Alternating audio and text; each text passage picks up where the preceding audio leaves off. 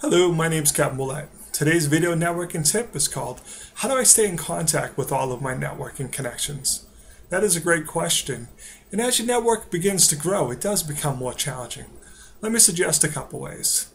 The other day I did a video talking about the importance of saying thank you when someone endorses you on LinkedIn. If you know that person fairly well, why don't you ask to meet for coffee so you can catch up? Also, if you're on Facebook or LinkedIn, it tells you when someone's birthday is. So if you get that message, reach out to them if you know them and say, hey, we haven't spoken in a while. I'd like to buy a cup of coffee for your birthday. Two simple ways to stay in contact with people.